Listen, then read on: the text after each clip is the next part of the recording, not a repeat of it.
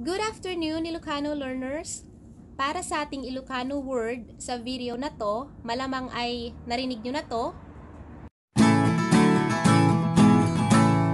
Kano. Kano.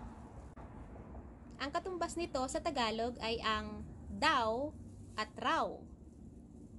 For non-Tagalog speakers, this is the word you need to use in Ilocano to say she said or he said. Example is, well, first, first, let's say, you're beautiful. Napintas ka. Napintas ka. Or in Tagalog, maganda ka.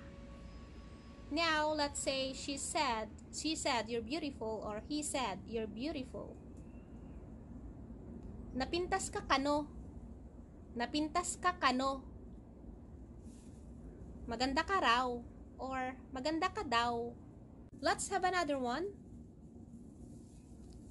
Baybay am kano.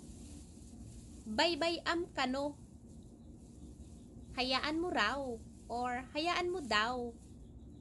He said or she said, let him be, let her be, or let it be. Ni Hiro, nakaruwar. Nakaruwar, nakaru... Yeah. Yeah. Nakita niya si, si lolo niya. Baybay am kano. Baybay am kano ni Hiro. Kasi isang baby ni Lolo. Baybay am kano.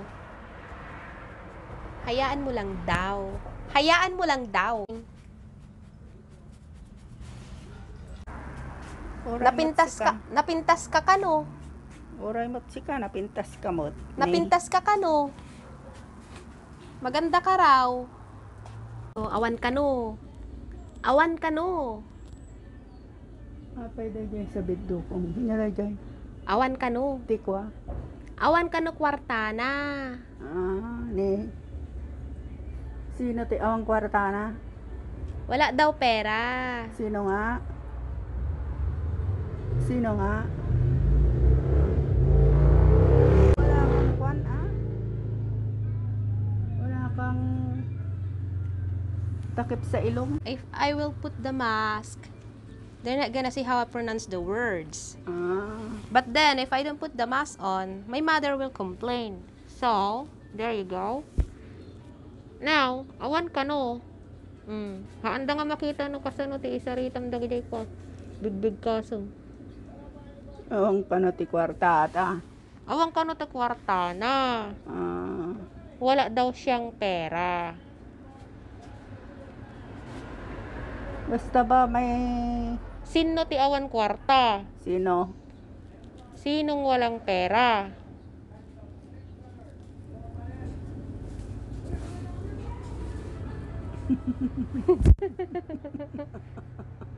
Ni tatang ko, awan kwarta.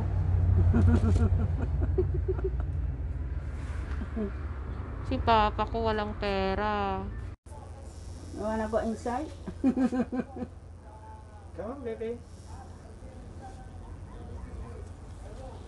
Let's go, let's go. Come on, come on, come on. Let's go. Yummy, Yummy, yummy. yummy, yummy. Hurry up,